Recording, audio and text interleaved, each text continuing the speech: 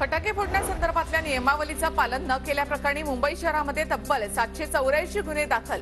सातशे चौतीस जणांवर पोलिसांकडून दंडात्मक कारवाई. रात्री आठ ते दहा या वेळेत फटाके फोडण्याची मुभा असताना उशिरापर्यंत फटाके फोडणाऱ्यांवर कारवाई.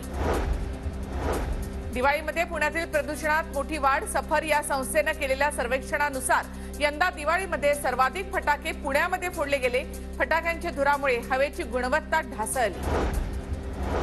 मुंबई ठाणे आणि नवी मुंबईत बांधलेल्या सत्तावीस उड्डाण पुलांचं स्ट्रक्चरल ऑडिट होणार.